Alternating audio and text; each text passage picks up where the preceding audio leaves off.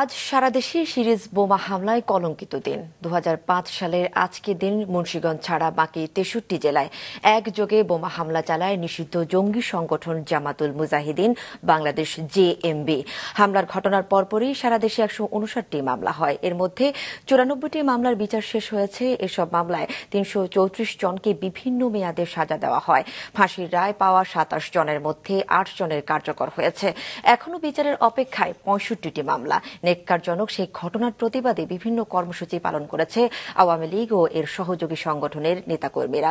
সকালে গুলশানে মানববন্ধন করে স্বেচ্ছাসেবক লীগ, সেখানে প্রধান অতিথির বক্তব্যে পররাষ্ট্র প্রতিমন্ত্রী শাহরিয়ার আলম বলেন, জঙ্গিবাদ উৎখাতের কাজ করে যাচ্ছে সরকার।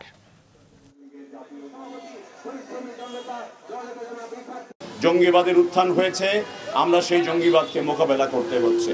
বিএনপি জামাতের রেখে যাওয়া জঞ্জাল আমরা গত পনেরো বছর ধরে পরিষ্কার করার চেষ্টা করছি। পৃথিবীতে যেই দেশে জঙ্গিবাদের উত্থান একবার হয়েছে, সেই দেশ কিন্তু মাথা তুলে আর কখনোই দাঁড়াতে পারেনি। আমরা পুলিশ বাহিনীকে, গোয়েন্দা বাহিনীকে আইন শৃঙ্খলা বাহিনীকে যেভাবে সফল করেছি, সবল করেছি, তাদের ঐকান্তিক প্রচেষ্টায় বাংলাদেশের জঙ্গিবাদের উত্থান নতুন করে আর হয়নি।